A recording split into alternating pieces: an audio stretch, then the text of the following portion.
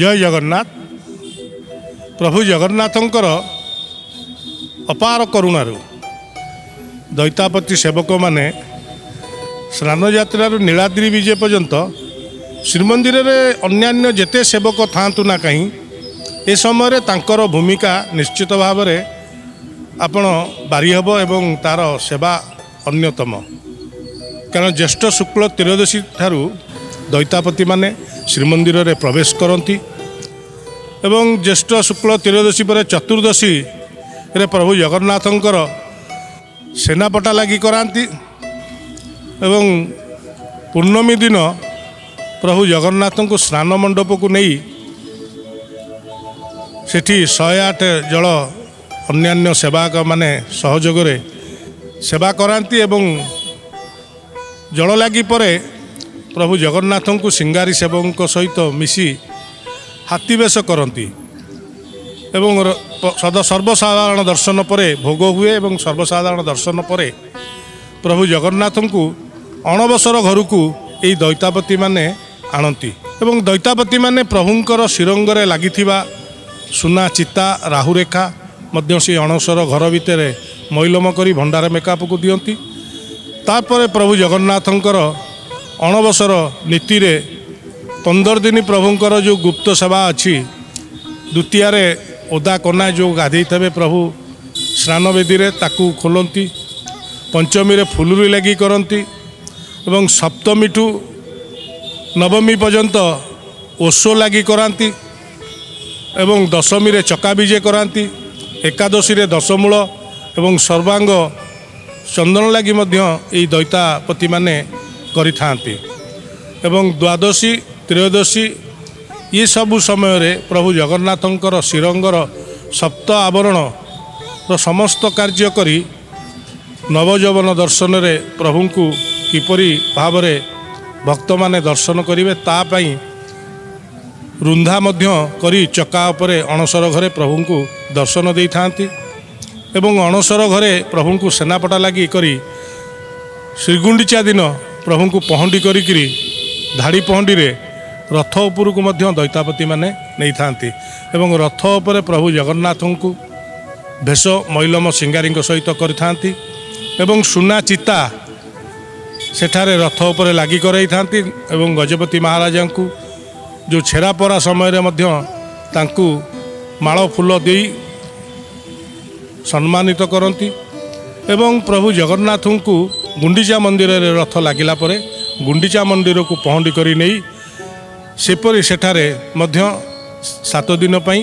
ନବଦିନ ଯାତ୍ରାରେ ପ୍ରଭୁ ଯେଉଁ ଯାଆନ୍ତି ସେଠାରେ ମଧ୍ୟ ସେଇ ରୁନ୍ଧା କରାନ୍ତି। ରୁନ୍ଧା କରି ସାରିବା ପରେ ଯେମିତି ଦୈନନ୍ଦିନ ସେବା ସିଙ୍ଗାରୀ ପୂଜା ପଣ୍ଡା ଅନ୍ୟାନ୍ୟ ସେବକମାନେ କରନ୍ତି ସେ କାର୍ଯ୍ୟ ସେମାନେ ଉପସ୍ଥିତ ରହନ୍ତି କିନ୍ତୁ ଅନ୍ୟାନ୍ୟ ସେବାୟତମାନେ ସେ କାର୍ଯ୍ୟ କରିଥାନ୍ତି।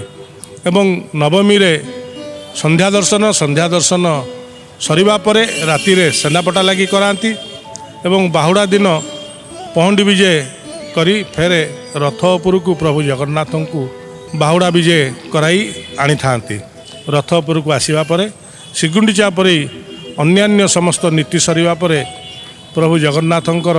ଲକ୍ଷ୍ମୀନାରାୟଣ ଭେଟ ଶ୍ରୀନଗର ପାଖରେ ଯେତେବେଳେ ପ୍ରଭୁ ଜଗନ୍ନାଥ ପହଞ୍ଚନ୍ତି ଲକ୍ଷ୍ମୀନାରାୟଣ ଭେଟ ମଧ୍ୟ ଏହି ଦୈତାପତି ମହାଜନ ସେବଙ୍କ ସହିତ ପ୍ରତିମା ପାତ୍ର ଥାଇ ଲକ୍ଷ୍ମୀନାରାୟଣ ଭେଟ ମଧ୍ୟ କରେଇ ପାରିଥାନ୍ତି। ଏବଂ ଶେଷରେ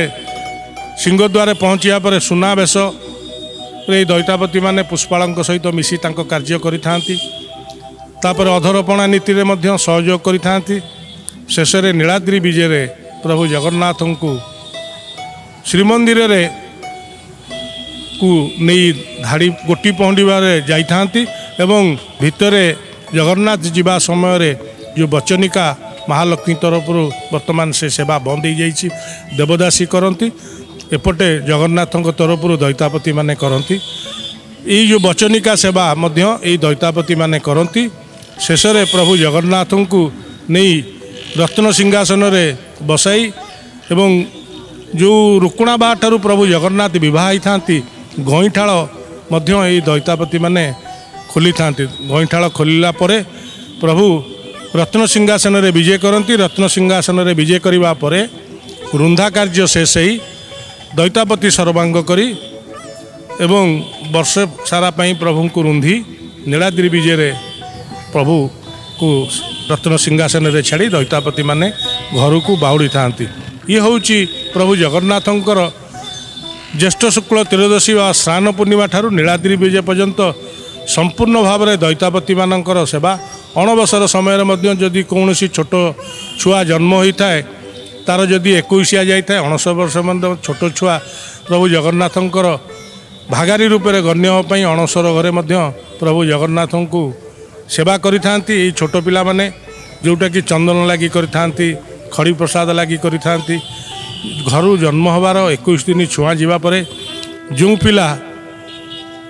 ଅଣସର ଘର ଭିତରେ ପଶିଯିବ ସେ ଦୈତାପତି ରୂପେ ଗଣ୍ୟ ହୋଇଯିବ। ଆପଣ ଜାଣିଥିବେ ଅଠର ବର୍ଷ ସାଁ ବାଳକ ହେଲେ କିଛି ସେବକ ସେବା କରନ୍ତି କିଛି ସେବକ ପଇତା ବ୍ରତଘର ହେଲେ ସେବା କରନ୍ତି କିଛି ସେବାୟତ ମଧ୍ୟ ବିବାହ ହେବା ପରେ ସେବା କରନ୍ତି। କିନ୍ତୁ ଦୈତାପତି ଜନ୍ମ ହେବାର ଏକୋଇଶ ଦିନ ଛୁଆଁ ଯିବା ପରେ ପ୍ରଭୁ ଜଗନ୍ନାଥଙ୍କର ସେବା କରନ୍ତି। ନିଶ୍ଚିତ ଭାବରେ ଏଇ ଯେଉଁ ସେବା ନିଶ୍ଚିତ ଭାବରେ ଏହା ଅନନ୍ୟ ସେବା ପ୍ରଭୁ ଜଗନ୍ନାଥଙ୍କ ଆଶୀର୍ବାଦ କୃପା ନଥିଲେ ଏ ସେବା କରିପାରିବେନି ଜୟ ଜଗନ୍ନାଥ